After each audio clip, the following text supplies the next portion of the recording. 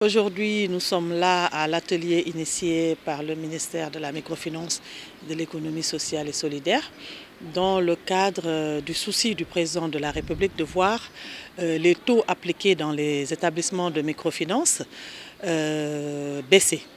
Alors, ceci pour la bonne et simple raison que c'est ce secteur qui accompagne la plus grande partie de notre économie qui est l'économie sociale et solidaire. Alors, euh, vraiment, nous trouvons que c'est, comme on dit, notre cri de cœur a été entendu. Euh, parce que nous, avec l'arrivée de la finance islamique, de la microfinance islamique en particulier, nous avions très tôt constaté euh, l'exorbitance des prix, des, taux qui sont appliqués par les établissements de microfinance. Et en parallèle, les possibilités de réduction de ces taux qu'offre la finance, la microfinance islamique en particulier.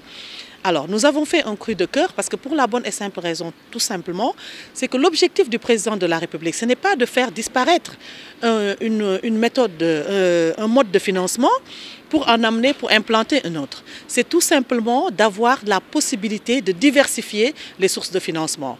Et pour cela, le, le système financier classique devrait s'adapter à l'arrivée de la microfinance islamique qui va euh, naturellement pratiquer des taux très bas.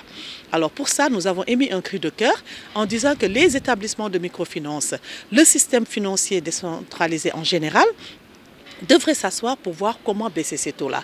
Et sincèrement, nous, saluons vraiment la pertinence euh, de la vision de Madame le ministre qui a su euh, vraiment prendre la balle au rebond et organiser, euh, commencer à faire euh, vraiment le plaidoyer nécessaire pour qu'on y arrive à, régler, à trouver les solutions pour régler ce problème. Et, et c'est quelque chose à saluer. C'est ce qu'a compris le président de la République en ouvrant les portes de notre pays à la microfinance islamique. Et surtout, si vous voyez dans sa démarche, qui est d'une nature très cohérente, c'est-à-dire le président de la République a mis la délégation à l'entrepreneuriat rapide en appliquant des taux déjà très bas. Donc par là, il a montré la voie, dire qu'il est possible de mettre des fonds et d'appliquer des taux, taux, des taux très bas pour la microfinance euh, en général et, et classique. Mais l'arrivée de la microfinance islamique a été la solution pour pousser la finance euh, classique à vraiment prendre la peine de vouloir baisser ses taux. La microfinance islamique, euh, dans sa démarche, elle contribue naturellement à l'inclusion financière et à la réalité de la création d'emplois. Parce que dans la démarche de la microfinance islamique, le, porteur de projet et le banquier y vont dans un, sous un mode de partenariat. Donc le détournement d'objectifs est quasi nul. Donc ça, ça c'est ce qui engendre la pérennisation de l'emploi créé.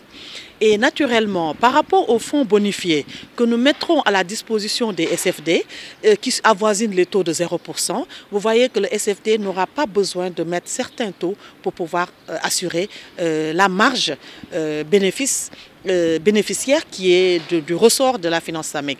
Parce que dans la finance islamique, le banquier est un commerçant.